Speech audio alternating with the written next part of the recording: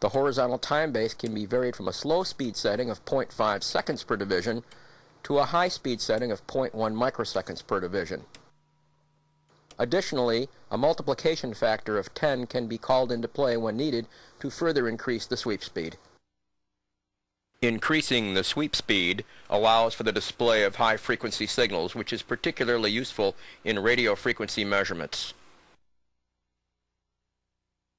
As sweep speed increases, beam intensity diminishes. This is because of the time the beam has available to excite the phosphor on the screen. Some oscilloscopes automatically compensate for the reduced intensity by increasing the brightness of the trace when higher sweep rates are selected. As was the case with the vertical vernier attenuator, check, check, and check again that the horizontal calibrate control is in the cal position. By using the trigger level control in conjunction with the horizontal position control, you'll be able to carefully place the starting point of the trace at the point you need on the graticule of the oscilloscope. This is particularly important when making AC signal measurements.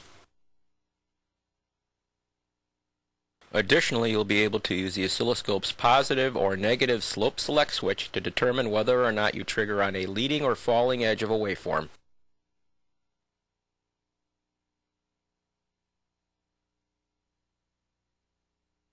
Selecting the proper trigger source is important. Generally, you will trigger on the same channel that you are measuring. Particularly when measuring complex signals, you might find using external trigger to provide a more stable display. External trigger is preferred particularly when viewing complex video or television signal waveforms. Always select line trigger when making measurements related to the AC power line or mains. This is particularly useful when checking ripple, for example, on an AC power supply. You must always use extreme care when connecting the oscilloscope to the AC power line as an extreme shock hazard is always present.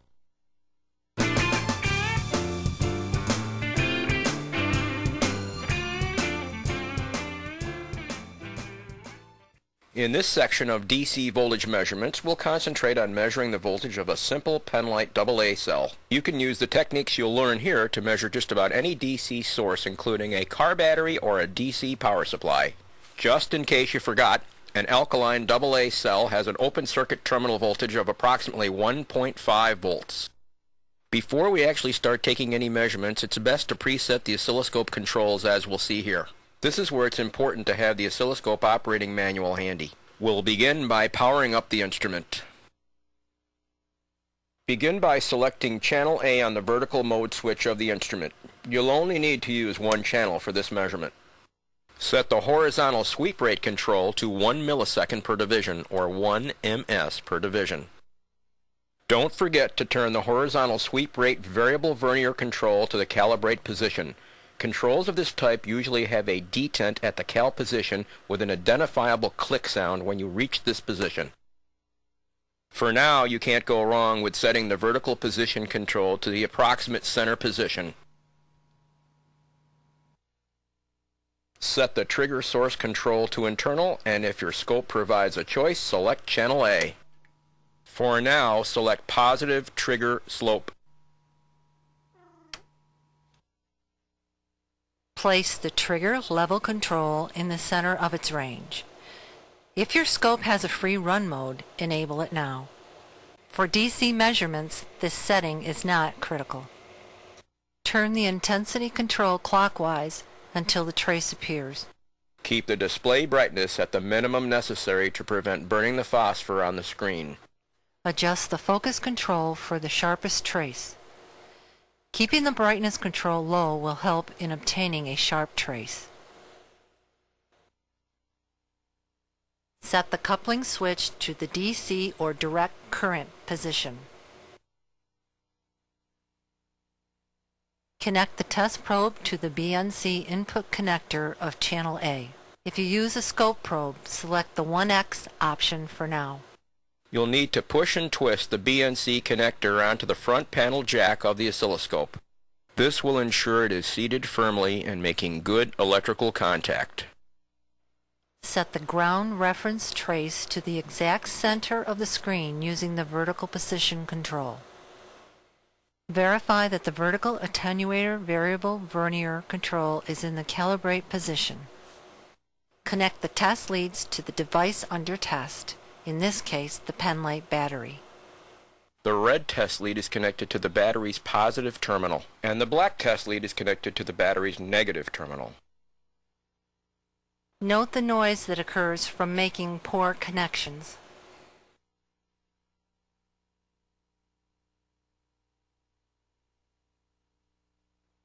Now a solid connection to the battery has been made. Here we see the trace has deflected 1.5 divisions up from the center zero reference. Because each major division is 1 volt, the DC voltage is 1 volt per division multiplied by 1.5 divisions of deflection, or 1.5 volts.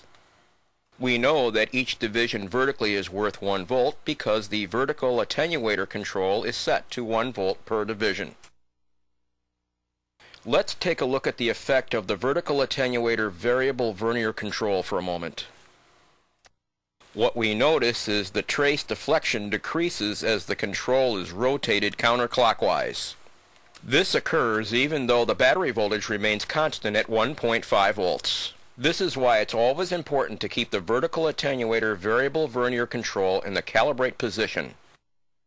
You'll notice that serious measurement errors can occur if the vertical attenuator variable vernier control is in any position other than the calibrate position. For ordinary voltage measurements, the vertical attenuator variable vernier control should always be kept in the calibrate position. Only for special measurements such as measuring the phase of a waveform should the control ever be removed from the calibrate position.